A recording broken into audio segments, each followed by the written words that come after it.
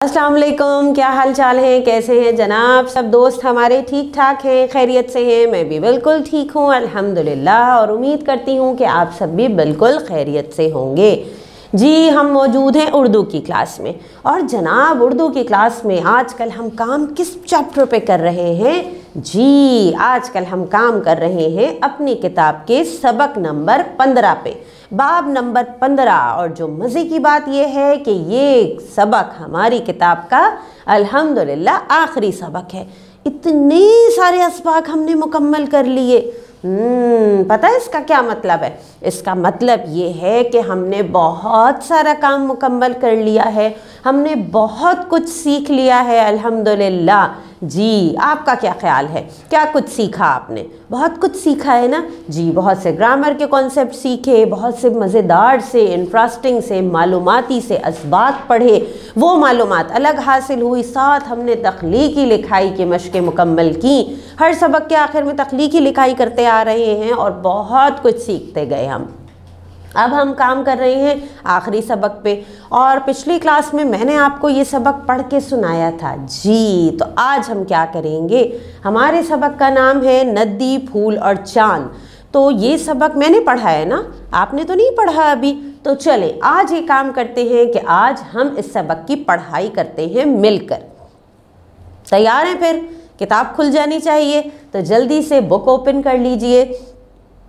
आ जाइए page number 101 पे।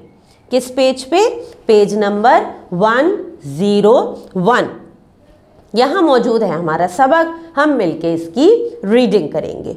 आज हम एक पेज की रीडिंग करेंगे, ठीक है? 101 की। आहिस्ता आहिस्ता पढ़ेंगे, समझ के पढ़ेंगे, पहचान करके पढ़ेंगे अल्फाज की। तो आपने फिंगर रखनी है वर्ड्स पे और साथ साथ हल्के हल्के पढ़ना है। स्पीड में नहीं पढ़ना है, ठीक? तो चलें, शुरू करते हैं अपने सबक की हम रीडिंग सबसे पहले पढ़िए मेरे साथ हमारे सबक का नाम। क्या नाम है? नदी, फूल और चाँद। फिर पढ़िए साथ मेरे। नदी, फूल और चाँद। अब आगे बढ़ते हैं।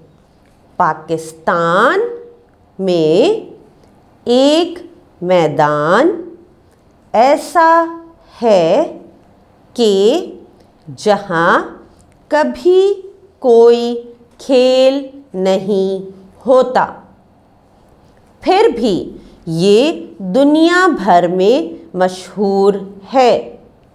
पूरी दुनिया से लोग इस मैदान को देखने और यहाँ रात बसर करने आते हैं।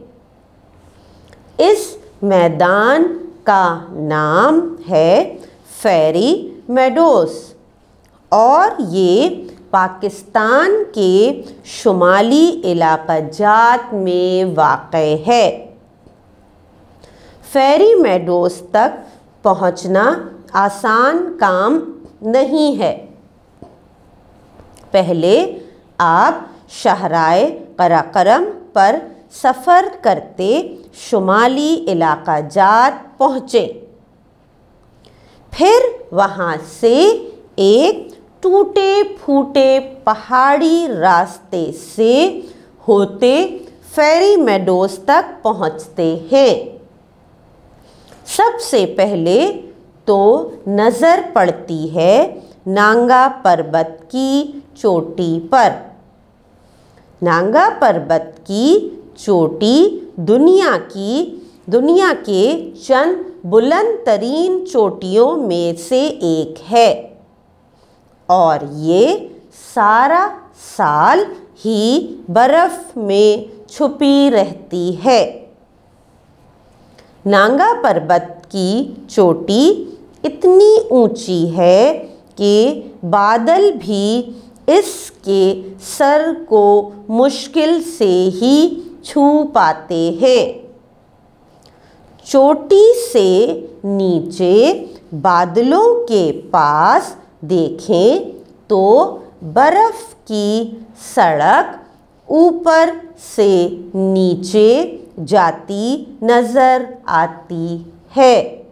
पढ़ रहे हैं साथ साथ शाबाश। आगे पढ़िए अब लेकिन शायद आपको इसके बर्फ़ होने पर शक हो। क्योंकि इस ग्लेशियर की बर्फ़ बहुत साल पुरानी है। इसका रंग स्लेटी माइल है और ये पत्थर की तरह सख्त भी है। नज़र को ज़रा नीचे लाएँ तो दरख्तों का एक लंबा सिलसिला नांगा पर्वत पहाड़ को घेरे नज़र आएगा।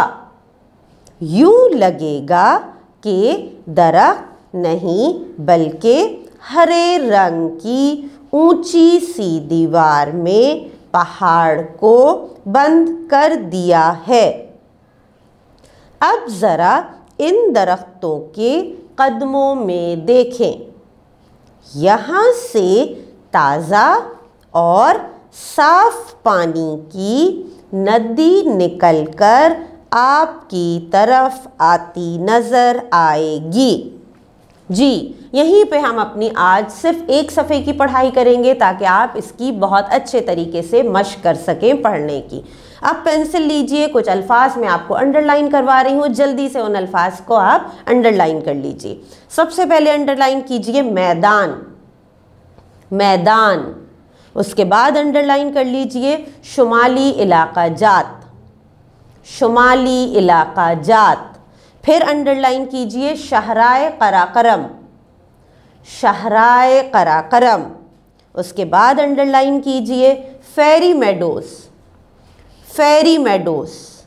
और फिर कीजिए बुलंद तरीन बुलंद तरीन उसके बाद अंडरलाइन कीजिए ग्लेशियर। ग्लेशियर।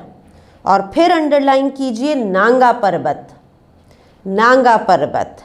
चले, अब आपने करना क्या है? पहली चीज़ के जिन अल्फाज को हमने अंडरलाइन किया है, उनकी लिखने की बेहतरीन सी मश करनी है और उसकी तस्वीर टीचर को भेजनी है। साथ साथ रीडिंग की प्रैक्टिस करनी है और फिर वॉइस रिकॉर्डिंग बनानी है इस सफ़े की पढ़ाई की और वो भी अपनी टीचर को भेज देंगे। ठीक, ज़्यादा काम तो नहीं है ना? तो चलें, फिर आप ये काम कीजिए मुकम्मल और मैं मिलूँगी इन आपसे अगली क्लास में। अल्लाह हाफिज़।